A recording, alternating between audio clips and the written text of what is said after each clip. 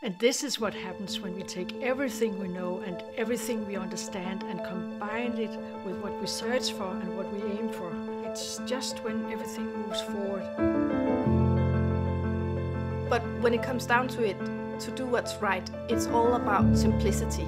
And not just in one area, but in our entire approach. And you can certainly see it in our innovative end result. What if people had a more natural way of controlling their irrigation system, giving them even more freedom and comfort whenever they need it?